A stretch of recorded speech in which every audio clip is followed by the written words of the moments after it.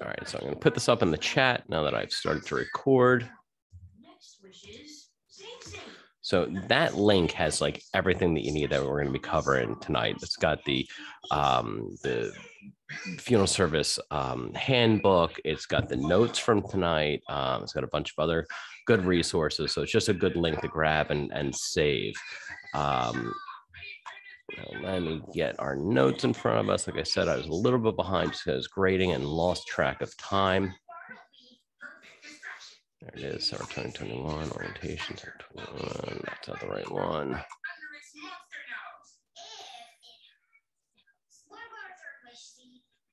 There it is.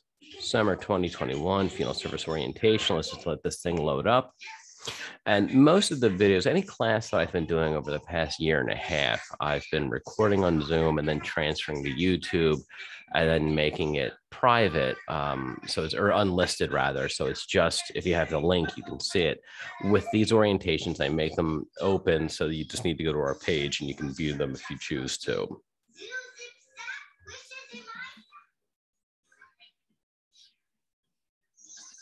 All right, it's waiting for it to load up. There we go.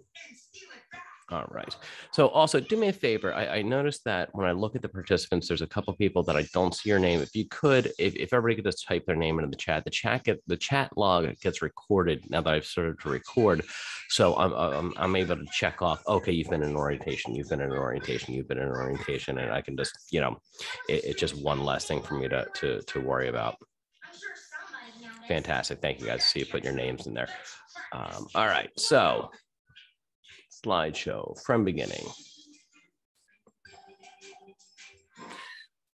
All right, so we're just going to go through just basic stuff that you guys need to know for the program itself. Um, all right, so the the program normally I'm going to move this so it's out of my way. Um, normally, the program, um, if you're doing full time, it takes two semesters. Um, you know, and we base this off of we built it on a Monday, Wednesday, Friday schedule, so that if you are doing that, you have the Tuesdays and Thursdays off, and you also have the um, you know the weekends off. Um, the classes are all blended or hybrid. Now we're projected to be back on campus. I think we're going to be, but my only concern in committing to that is we were supposed to have a um, graduation ceremony um, in August, like mid August, and it was supposed to be in person, and they yanked the, the rug out from under us. They're like, nope, like like a couple days ago, they was like, yeah, we're just not going to do that now. And it's like, oh, uh, okay. So I can't commit to anything until we're actually there. I'm hoping we'll be there, but if we are the, the, the the classes regardless whether we're distanced or whether we're in class the classes are, are quote unquote hybrid um, or blended meaning that what used to be a three hour class is now an hour and a half. Um, we take half the course material we put it online we keep the other half that material in the classroom.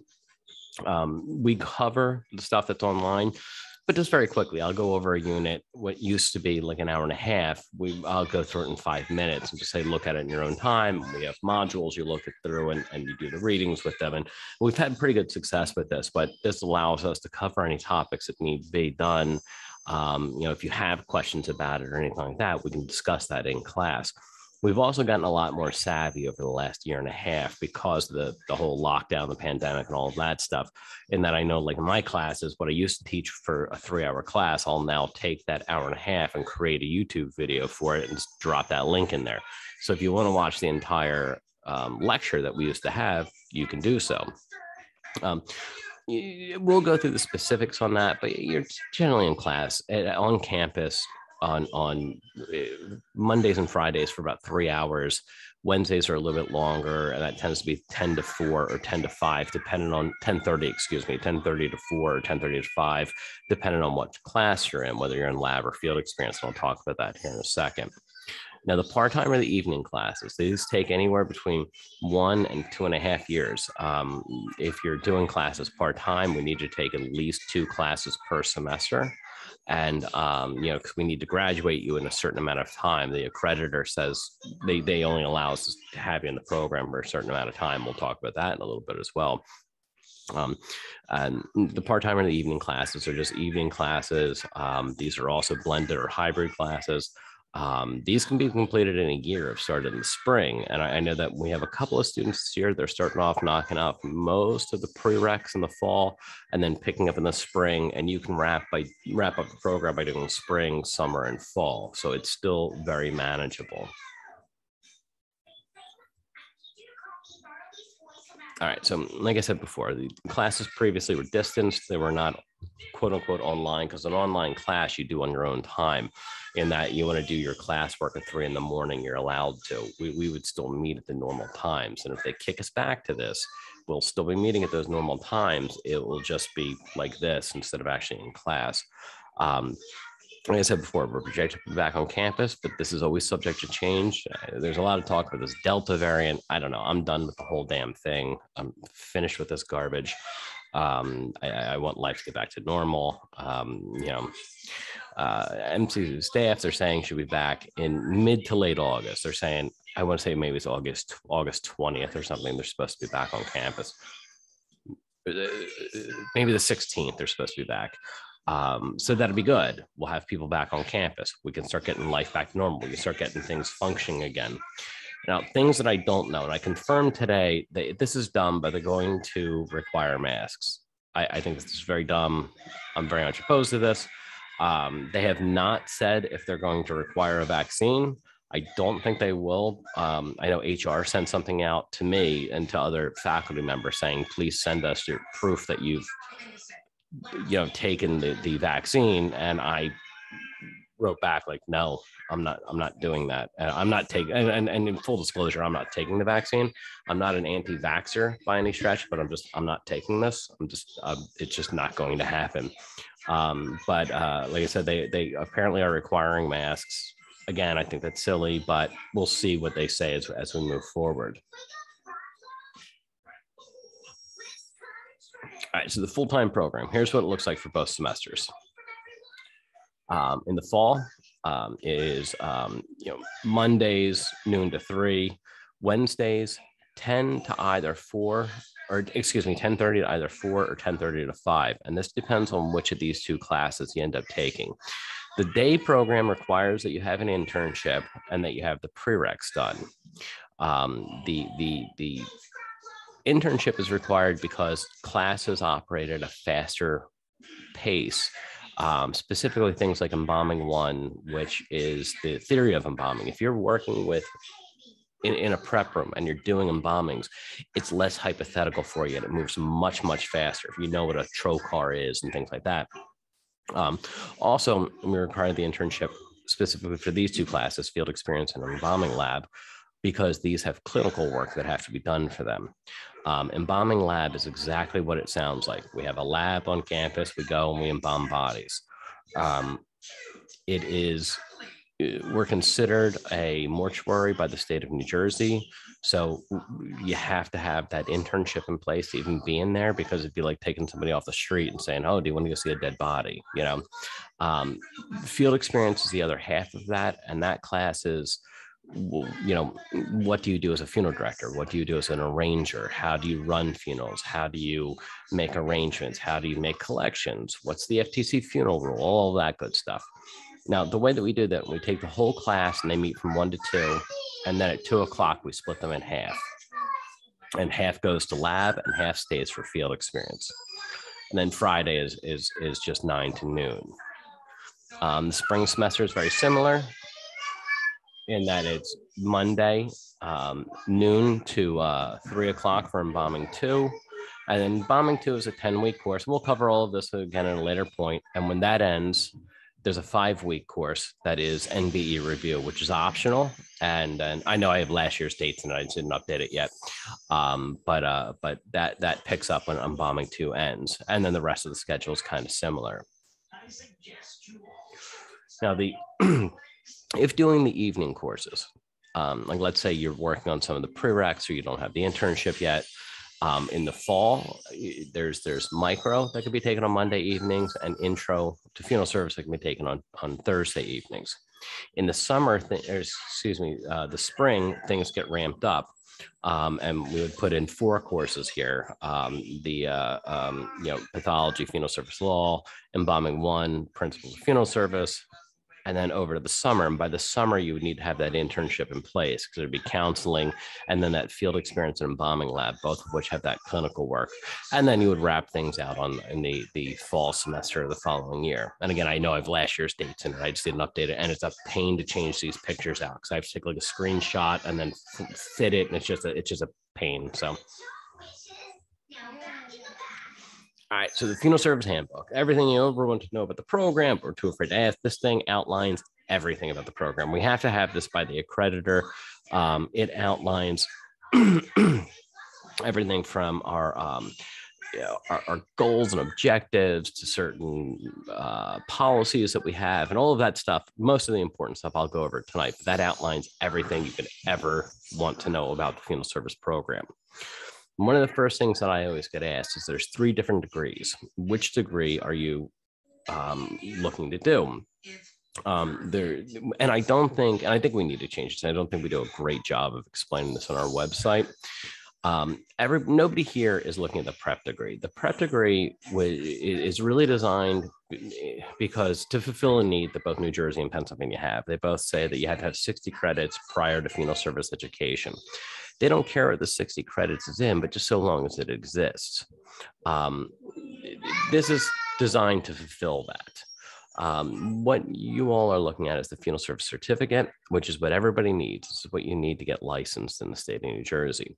Um, then there's the AAS and funeral service. Now, everybody does the same classes with us, and it's just a matter of what can we pull from your academic background to to to you know get you up to the AAS. And and if you don't have a degree already, if you already have a degree, it really doesn't matter so much. If you already have an associate's or a, uh, a, um, a, a bachelor's, it really doesn't matter in, unless you're in like Delaware. Delaware's a little wonky about that. But um, if you have the prerequisites plus a math class, uh, general education class, and either a degree or a um, uh, like a health class or college success and wellness, then you would you would then also get the associate's degree.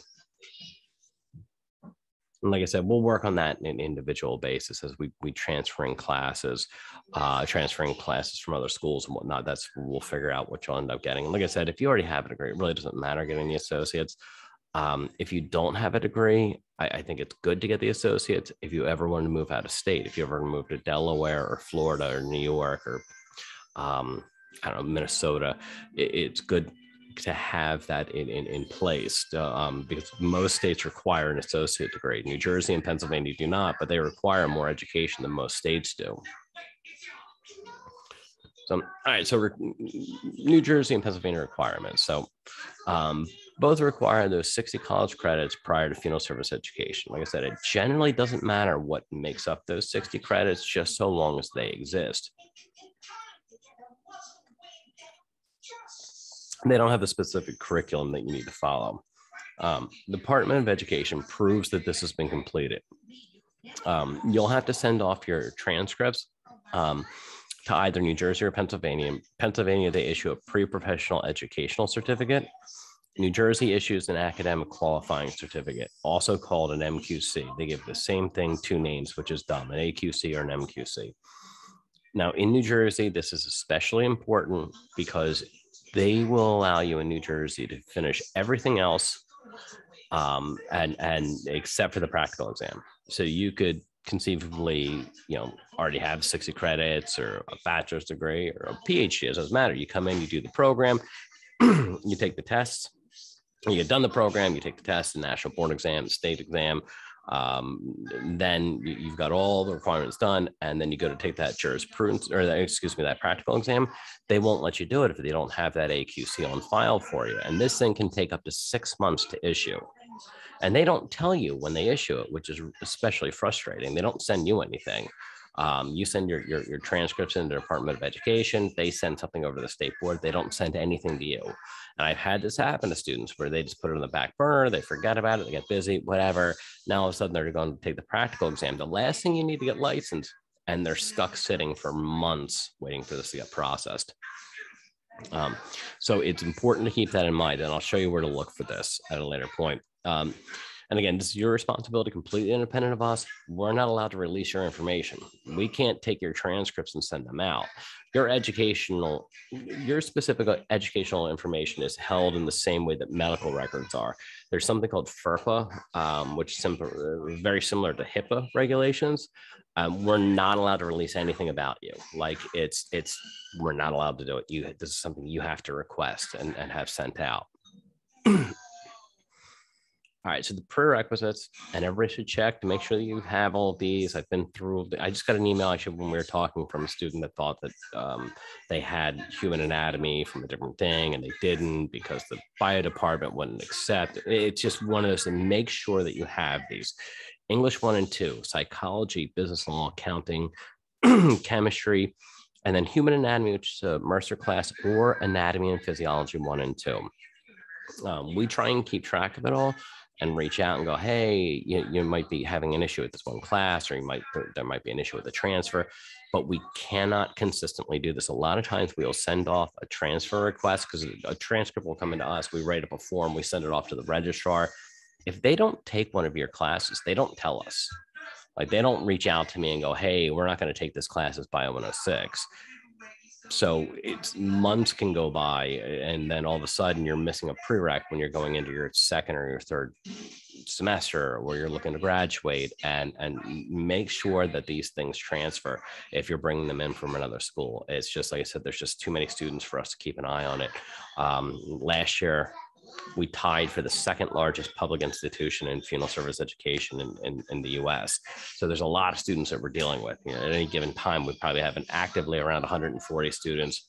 But you, you work that out either direction, students coming in, students that have already graduated that we're working at is easily three 350 students and it's just it's impossible for us to be able to to to, to ensure that everything we, we try and put everything through the best that we can we try to advocate on your behalf but we can't it's impossible for us to keep track of it all.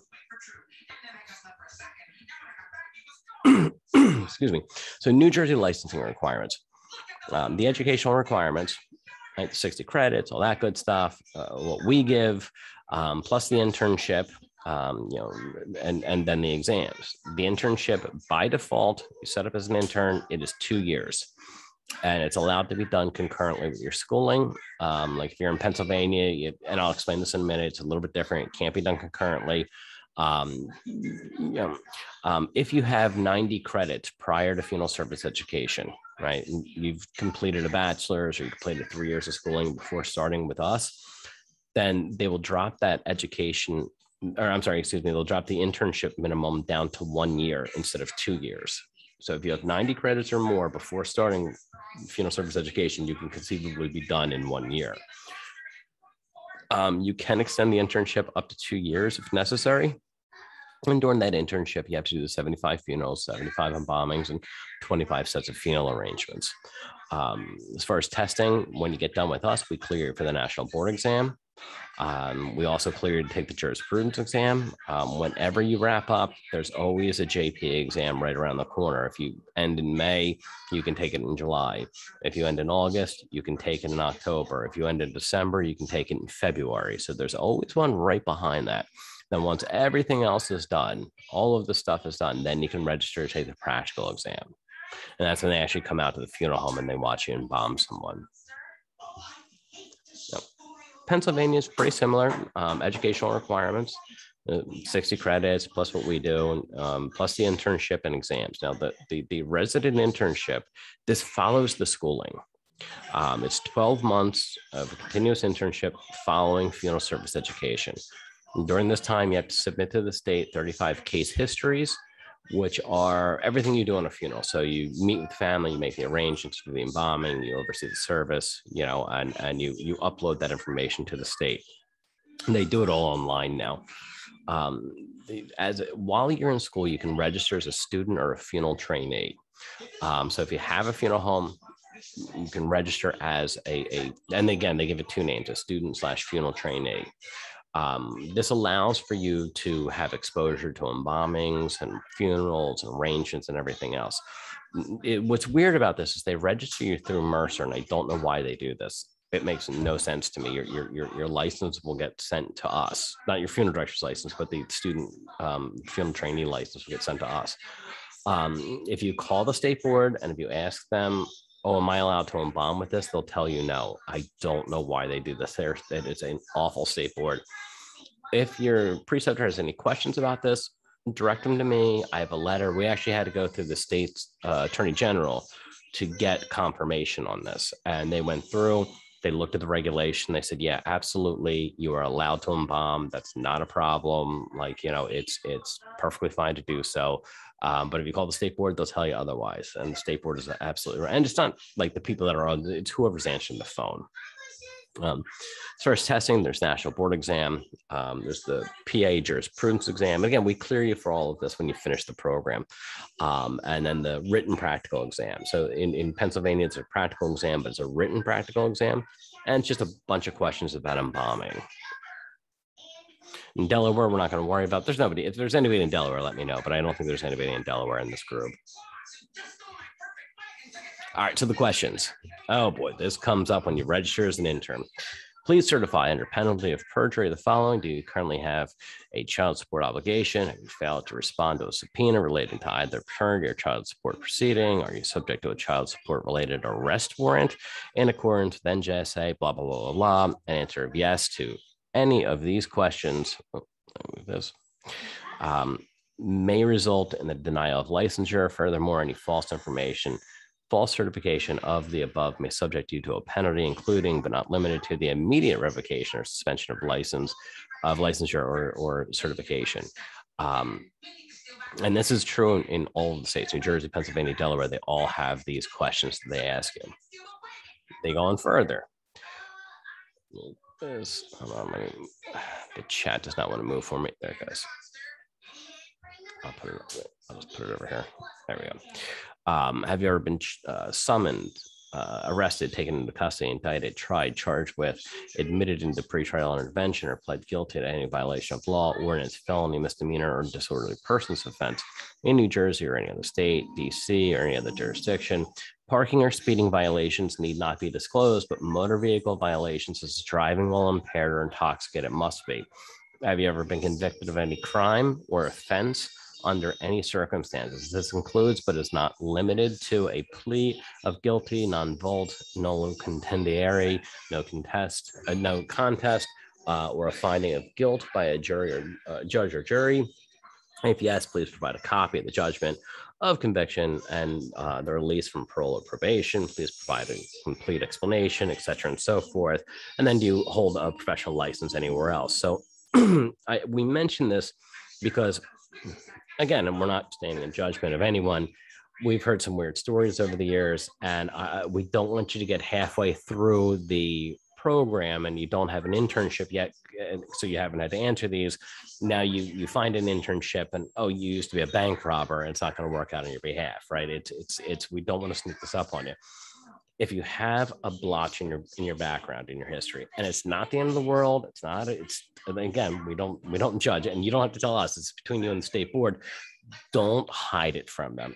If you snuck one past them and you might be able to um, 10 years down the road let's say your competition finds out about it uh, they inform the state board they could come after you and they would absolutely strip you of your license um, you know, it, it's it's it's you know that's considered fraud. It's fraud by omission if you do that. And I, like I said, I heard some weird stories. I had a student come down one time after class and said, like, I need to talk to anyone to talk to me in my office. I was like, that's fine. And he was like, well, I used to be a teacher. I'm like, oh, this is not going in a good direction, man. This is not this isn't good, man.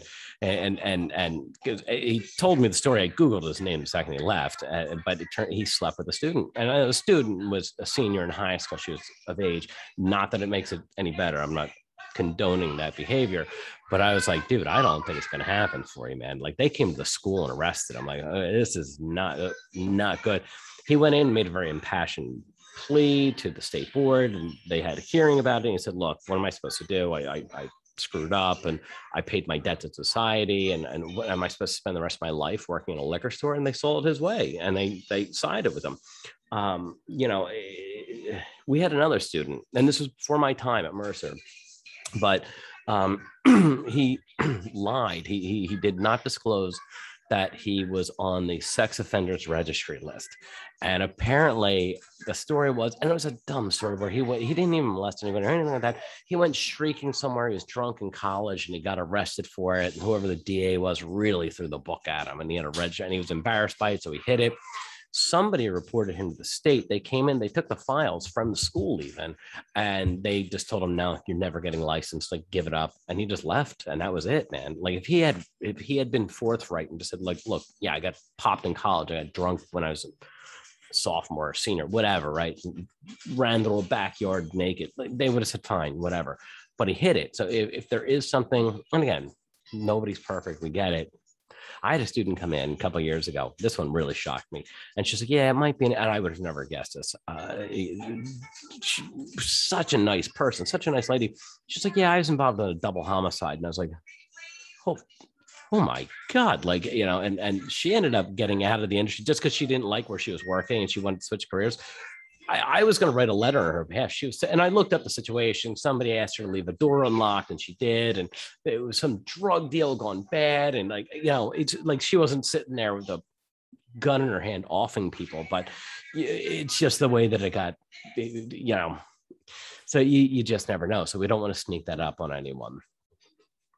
All right, so grades.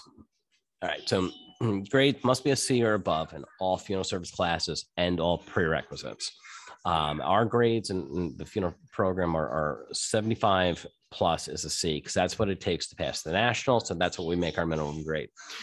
If you have to repeat courses, you can do so one. And again, I hope this doesn't affect anybody. I hope this is just you don't even need to worry about this. If you have to repeat a course, repeat a course once, not a problem. If you have to repeat a course more than once, you have to get permission of the dean. You have to get departmental permission. And and we have a new dean, an interim dean. And I'm hoping she'll stay as a dean. I really like her. But we used to have um, when Dr. Maddox was there. He was tough, man. He was the son of a funeral director, so he took it real seriously, man. Um, and again, I hope this doesn't impact anybody. I hope you guys don't do any of this stuff. But incomplete grades in in in field experience and embalming lab, the two classes that have clinical work. If you are done the class, you've done all the academic work, but you have not completed the clinical work, meaning the embalming. So we, we require so many embalming, so many embalming observations, so many sets of funeral arrangements, that type of a thing. Um, if you're done the class and you haven't completed the clinical work, then you don't mind the screaming in the backyard, back background. Nobody's getting murdered. Just my three-year-old is quite rambunctious. Um, anyway, so you're not done the embalming observation or whatever. You just get an incomplete, and then incomplete is good for a full semester. So let's say you take in fall, you take embalming lab, and you don't have the embalming observation done by December. Okay, fine, we'll give you an incomplete. That's good through May. Now, if we hit May and you're not done it, that'll flip to an F, and we can't switch it back. But we give you an extra 16 weeks to get to get, get that clinical work done. Um, tests are really no makeup exams. If you just blow a test off, I'm not going to personally again. I'm not going to get just go. Yeah, fine, whatever. I, I had this happen to me a, a, a couple of years ago where a student failed a, te- a class over it. Now, we're not monsters. If there's an issue, and if it's beforehand, I'm normally amenable to it. And I, if it's a if it's an emergency, that's fine too. I had a student that reached out to me and she was concerned and and and it was after the fact. She had to take her daughter to the to the ER over a health scare. And I was like it's fine. That's fine. You know what I mean? But if you just eh, I didn't feel like taking the test like no we're not going to give it to you. Um, tests in class are not given for student retention um, but we review them in class. The feeling is I don't want a funeral service is such a small industry. Everybody knows everybody else I don't want to have to rewrite tests every semester, and I don't want some funeral home to have a stack of our tests out there that oh okay I don't need to study can take these tests you know and then and I'll know the questions ahead of time. Um, program completion. Due to the evolving nature of funeral service education, the our accreditor, the American Board of Funeral Service Education, gives one and a half times to complete the program, meaning they give you three years to complete the program um, when you work out the numbers on it. now, if for some reason you leave the program and this has happened where we have life students that life gets in the way yeah they um they get married, they move, they have a kid, whatever, and they step away from the program, that's fine. But if it's been more than three years and you return, you have to start back from the beginning. Classes are only good for three years. So, and, and I had a student not too long ago that popped up, and, and she had been out of 10 years and she only had two classes left and she had to start back from the beginning and i've got no control over this. This goes back to the accreditor. The accreditor st- lays it directly out in the standard and says look you got to go back to the beginning. And it's it is i felt bad. I wish i could just push her through but i can't i can't. It's we have to go through reaccreditation. They look for all this stuff and i can't chance the accreditation of the program. Um, be prep uh, FUN 299, this is recommended, but it is not yet required. There's a capstone course, there's a one credit course at the end of the program where we help prep you for the national board exam. Like I said, it's not required, but I highly recommend you take it. It's something that um, just helps you get that mindset to get through that exam. And we want everyone to pass that exam on the first time through. So, a couple of things we're going to be asking you guys for, and we'll handle this in class. Um, I used to hand these things out and we would go over them in orientation, but we'll just handle these in class. Um, we need to know if you've gotten the hepatitis B vaccination. Now, I don't care if you've gotten the Hep B vaccination or not, but we need to know that you know that it exists. The federal government says that if you get hired at a funeral home within 10 days, they need to make this available to you, at least start the process. It's a three shot process. You take one shot, you wait, I think maybe six months, you take another, and then you wait, I think you wait another two months, you take the third. Um, they had to make it available to you at no cost to you. Um, a lot of funeral homes I've seen over the years don't offer this, and they're not, at least the vast majority I've seen, have not been, this is not malicious intent on their part. Um it, it's just they forget like oh yeah i forgot yeah was trying to forget all about that. Like even when i worked when i went to the program i was working for an SCI funeral home. SCI does everything by the book and they mentioned this in school and i went and i asked my boss he was like oh damn i forgot all about that like it's been so long since we hired anyone like they just didn't think of it like they didn't care but it, you know so so we'll hand this out in class and we'll, we'll, we'll go over it we just again need to know that you know that it exists All right, so registering with the state board. Again, this has to be done to be in the day classes. Like I said, for various reasons I mentioned earlier, it's especially needed for field experience embalming lab.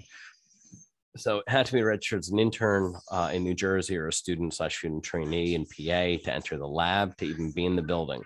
Um, again, both of those classes require so many embalmings, funerals, and embalming observations um, be completed at the funeral home. Um, if you're in New Jersey, New Jersey requires those 75 embalmings, 75 funerals, um, and 25 sets of funeral arrangements. The funerals and embalmings and arrangements that you use for Mercer can be used for the state as well. They don't have to be mutually exclusive, meaning you do a body, you do an embalming, you write up a form for um, for Mercer, for if you're an embalming lab, let's say, you can still count that towards your 75. They can be used for both. That's perfectly fine. All right, so that AQC or that pre-professional educational certificate, if you're in New Jersey, it's the AQC. And here's what's weird, and this is why we always point it out. I don't know why they do that, but in New Jersey, they they do this, and they do it in PA as well. They they they verify this online through a teacher certification information system. So you have to go and register and create an ID as if you're a teacher and you're doing a teacher certification. I don't know why they do this. It's so wonky you fill it out, you pay them 35 bucks, you have to print up a form, and then you have to get original copies of your transcript and you have to mail them off to the Department of Education. Like I said, you don't receive anything on this. So it's not a bad idea four or five months after you do it to contact Cindy at the state board and ask her if they've received it to make sure it is in their hands. Um, it's a pain, but it's just we don't want you to get to the end and not have this thing done. And then you're stuck sitting for months. So Pennsylvania is much the same. The TIMS program, um, you, you have to register with this, you log into it, and, and it's the same thing with those educational requirements.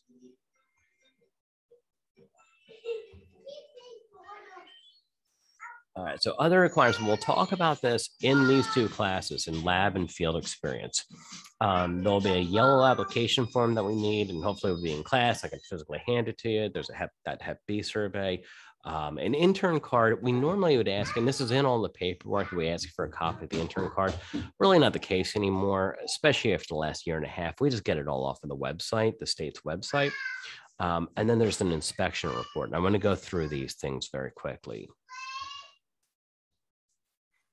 All right, so this will normally be printed on a yellow form. We color code everything. It just makes it easier when we're going through 30, 40, 50 files to just have everything color coordinated. And, and if you're in lab or field experience, we'll need you to take this back to the funeral home and have the, you fill out part of it and the funeral director, your, your preceptor fill out part of it. This is an agreement between the funeral home and the school to allow you to do clinical work at the funeral home and for us to to come out and to do the embalming observation and, and for the two groups to work together so that we can essentially evaluate you for these classes. All right, this is the inspection report. It's, it's, it's a one page thing, but it's two sided. Um, I mention this because, and I'll go through all of this in classes while we hand it out. We ask you to mention this to your preceptors. This is a relatively new thing. It's been about seven years since they instituted it. This comes not from the state of New Jersey, not from the school, not from the program, but from the accreditor. This comes down from the ABFSE, the American Board of Funeral Service Education. And what their fear was, and the issues that they were dealing with, is there were students in other parts of the country that were in generally unsafe environments you know and i think there was a complaint that came out of arkansas if i'm not mistaken that a student was was embalming there wasn't proper ppe there was like electrical wires above the embalming table because they had pulled a light system out but there were still live wires there and they're working they were running water it's just very very dangerous this does not apply in, oh, let me go back. This really does not apply in New Jersey or in Pennsylvania or in Delaware. We have a lot of, of, of regulation in these states. We get inspected in these states. We really have never seen these types of, of environments in these states, but we have to appease the accreditor. So I'll go through all of this in class as well. We give this to you. We ask you to take this back and fill it out and give us a copy of it. We then schedule a time to come out and do an actual physical inspection. This physical inspection takes about five minutes. We come out, we look around, we go, everything's great. Let's call it a day it's not a spot inspection. We're not going to show up without being without telling them ahead of time. We'll schedule a time. It's it's but I've had funeral directors get real wonky on me with this. Um, and uh, I get it. They don't want to be inspected, whatever. It's fine. I, I, I know funeral directors I'm friends with that scream at the the inspector from the state when they come out, like, you know, but we try and make this as painless as possible. So again, we'll go through all of this the start of those two classes. And uh, but it's we just want to give you a, a heads up on it in the meantime. um, this is what the Hep B survey will look like. Like I said, we'll hand this out in class. I'm, I'm, um, if we're going to physically be in class, I'm done with doing everything digitally because it's a nightmare to do. All right, scholarships.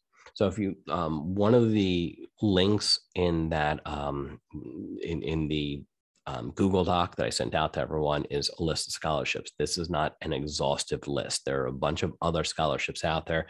These are just ones we had come across recently and dropped together. Um, apply for them. There's a ton of money out there. Um, the number one complaint I get from these organizations is that they don't get enough applicants. What even years ago when I and I, I went through the program 20 years ago, I was in in yeah 0102, so it's been 20 years. Um, there was a student in my class in, in principles, I believe, and he was doing a, um, a paper on, I forget the organization, but he reached out to them just to get information for this paper that he was writing. And they said, yeah, by the way, we have this scholarship that nobody's applied for in like nine years or something. And he was like, really? They're like, yeah, if you wanted to send in an application, he did. They sent him a check for 13 grand. And this was in 2001. You know, I mean, like, my God, like it's, it's, it's, and I'm not saying that's, that's typical, that's atypical, but we we we, we want to see you guys apply for these things and if there's anything you need from us if you need a letter if you need something from us to to um, help facilitate it please let us know we love to see you guys get these things we love to see mercer students get get scholarships Um, and again, there's just more lists of these. And like I said, this is not at all fully exhaustive. This is just as I get emails, I forward it on to Janine and she'll, she'll um, you know, drop it into this list. Um, but there's a bunch of other ones out there that, that are not listed on here. Yes. Uh, Luke, do you have a question? Yeah, I just want to. I mean, there's not too many people in here, but just let everyone else know. Most of the time, it's not like the most complicated form to fill out for the survey. It's, pr- I mean, it's not it's not easy work, but it's not like it takes hours and hours to fill it out, and it's worth it. Even if it's a few hundred dollars, it's it's worth it. Just wanted to throw that out there. And that's a good point because a lot of times people think it's going to take them like six hours to complete. It's not. It's pretty straightforward stuff. Yeah, absolutely. So good point, man. Real good point. Thanks for sharing.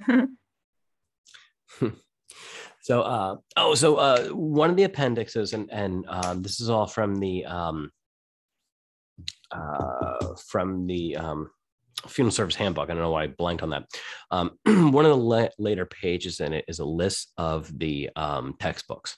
So we put these out there. Um, if you want to look on Amazon or eBay or whatever, or even I've seen a lot of these textbooks advertised on Embalmers Who Care and other Facebook groups. Um, you know, it's it's eh, you know if you can pick them up somewhere else that's fine. You don't have to buy them from us. And if you're not sure which textbooks you need for any particular class if you take the course number and you drop it into a search on the website like let's say you're taking intro to funeral service that is fun 206 you put in fun 206 into a search on the website and then on the college's website it'll bring you right to a page that has the um, the syllabus for the class. You can click open that syllabus and it'll tell you exactly what you need. So you know it's the information's out there.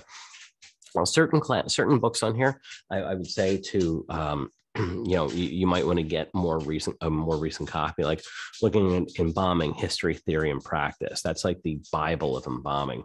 Um and, and so actually let me grab my copy of it.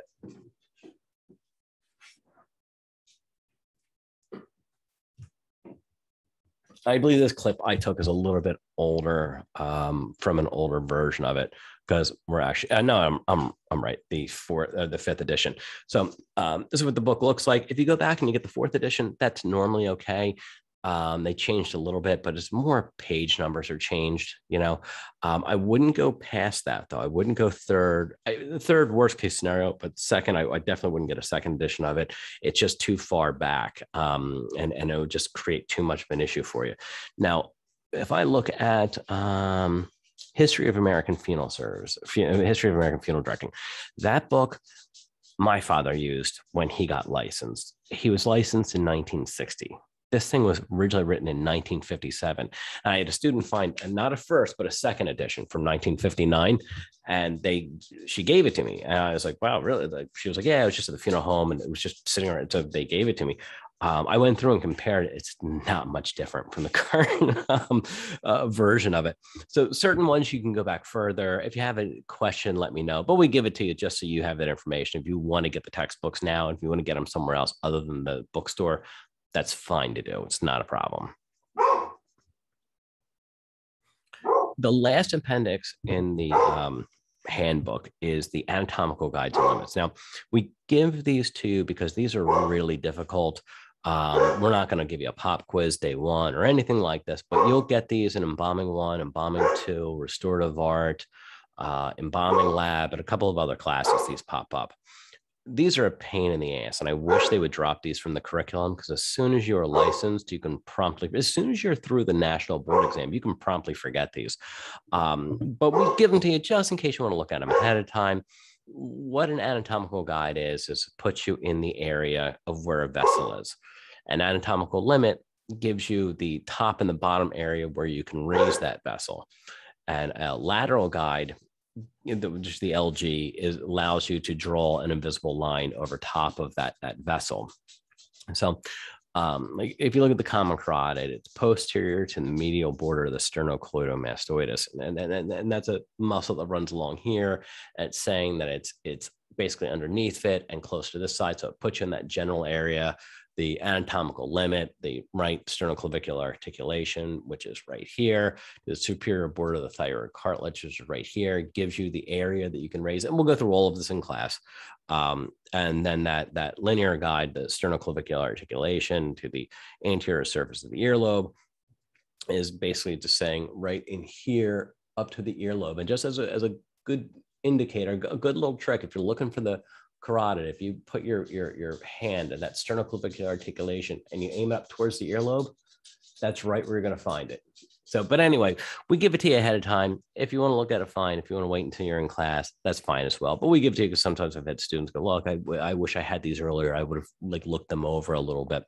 Um, but like I said, that that's all in the, that that handbook. But um, and these are not the current ones.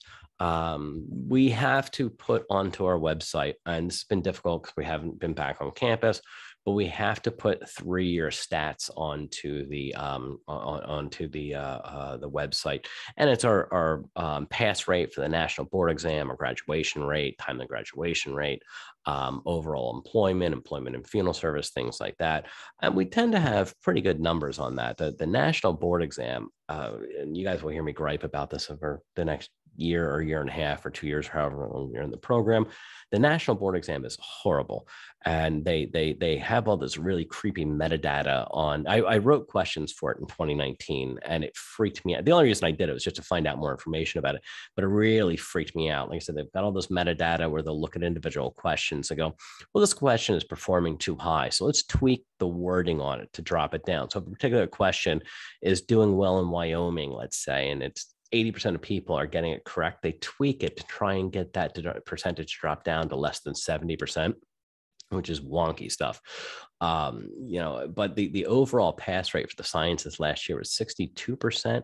And we tend to exceed it every year. Um, we, we tend to, to hit somewhere with the, the sciences, somewhere in the low 70s to high 70s, and the arts somewhere in the some somewhere normally in the 80s um, you know, it it's there are years you you you, you hit a, a, bump and it drops down in the 70s, but most times we're somewhere in that ballpark. So we exceed the national national numbers every year. But like I said, it's something we have to disclose. So feel free to go to our website and take a look at that and see what the, the numbers are on that. Actually, we did pretty good last year. I was really surprised about that with everything being locked down last year, but we did pretty damn good last year. So um, I think that's the last one in the, yep, there we go. So, questions about any of that stuff I just threw at you guys? All right. So if you haven't been registered for classes yet, just shoot me an email. Normally, like I said, what we would do is I would just hand out forms right in the orientation. We'd just write them down and and and and register you um, shoot me an email. And um, if you if you've emailed me in like the last two weeks, I've been way behind on all of it. And, and later tonight and tomorrow, I'm going to try and get caught up on all of that. As of Saturday to Saturday, I'm out of town on on vacation. Like I said, that's why I have all these snacks behind me. Um, and uh, but Janine will be uh, around, and, and Janine Rosenberger, um, she can handle most of the stuff in my um, in my absence. Somebody's just asking if funeral director license needed to do pet funerals, not in New Jersey or Pennsylvania, at least not yet. I mean, there is a whole burgeoning, uh, you know, industry happening there. Um, in Florida, they said the average person spends more on a on a pet's cremation than they do on a family member's cremation. So we'll see where that goes in the future. Um, but uh, but yeah, so like I said, if you haven't been registered yet, um, you know, Luke, do you have a question? Yeah, and as soon as I raised my hand, you were about to to touch on it. So if I haven't been registered yet, I don't want to say, I mean, I want to get it situated as soon as possible, but obviously if you're going to be away for a week, I don't want to push it till, you know, a week before classes start. So I'm just wondering how, do you send me a form and I fill it out and send it back to you or how? Luke, you, you've got all the prereqs done, right? And you're, you're, yeah, you're looking to do this. I got my associates. Yes. Full time. Then, then just do me a favor, shoot me an email, copy Janine on it. I mean, send it tonight or tomorrow and just say, you've got my approval um, you know, put you into the full time. And I know you're registered, so we'll put you into lab for that first semester. Okay. Great. Thank you. And what is Janine's email? Do you, if you know? Sorry. It, it's here. I'll put it into the. Um, All right. Sounds good. And so I'm sorry. I hate hate to be right. So I'm not registered technically yet, right? I'm not registered. I don't know off the top of my head if we've registered you previously. I, I don't know. I, I haven't heard anything. It's like I would assume I'd get some kind of confirmation, right? Yeah, yeah, yeah. And, and, and something me and my mom were wondering. Once I am registered, will I be able to just sign into my Mercer and start making payments automatically? As it, yeah, yeah. And what I would suggest doing is going in and making a payment. Oh, I just did that direct. I'm sorry. Let me hold on a second. Uh, Um, what I would suggest doing is um, going in and making the minimum payment and then setting up the um, chargeback. Um, the uh, the chargeback, and, and for anybody who's not familiar with it, they have to give you the in county rates for everything that you take, um, even if it's a prerequisite course. Um, they have to give you the in county rates for it if you're in New Jersey, at least. Um, they make you file some paperwork, but if you go to the school's website, you just put in chargeback, it'll bring it up for you. So if you make the minimum payment, it'll keep you in the class you can then do the chargeback and then they'll drop the rates down and then you won't pay the full amount. You'll pay the in county rate by the time you're done with the payment plan. Great. Okay. Oh, sorry. Go ahead. No, I was just saying that that's great to know. And basically, I just had the same question, Michael, about um, registration. Mm-hmm. Um, do I just do uh, like I wasn't sure where I am if I'm okay to go ahead and start registering for the fall? Um, you can. I would just need to see did you fill out one of the blue applications, Siobhan? Mm-hmm. Yeah. Okay. Mm-hmm. It's just it's weird right now because I don't know what anybody looks like, so I can't remember. Like it all blurs together, you know. Mm-hmm. Uh, blah, blah, blah,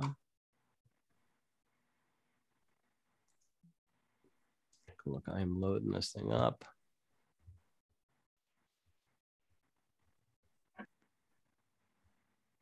All right. Uh yeah, you shoot me an email. Let me know. Um, I think there was just one class we were talking about, um, figuring out how. To waiting to see. It. Okay. And uh, so I'll, we'll just need to take a look at that and figure out exactly what you need on that one. Okay. If you shoot me an email tonight, I'll try and take a look at it tomorrow. I'm trying to wrap all this stuff up before I hit the road. And worst case scenario, if you get wrapped, if you have to get registered in the week before class, it's not a big deal. Right. It's not. We can register right. people into classes so long as it's not a funeral service class. If you need something else, let me know, and that takes priority because we always have room in the funeral service classes. Okay. Fair enough. Thanks. Sure thing. And have fun. Thank you. Thank you. Any other questions about? All right, fantastic. Then I will look to see everyone in a couple of weeks, and uh, we'll get you guys all, all wrapped up. The classes uh, start the week after Labor Day, and uh, yeah, like I said, we'll we'll get you started, get you through, and get you done. Every year it goes it goes like that. It goes so fast. You'd be shocked at how fast it's just. And every year, I students say it to me. I just got started, and now here we are wrapping it up. So yeah, it'll it'll go fast. We'll get you done, get your license, to get you out there. All right. Thanks so much. Thank you. Nice to meet you all. you too. Enjoy your trip. Thank you. Take care, everyone. Bye. Thanks, Mr. Daly. Let's see if I can close this from. Oh, there it is.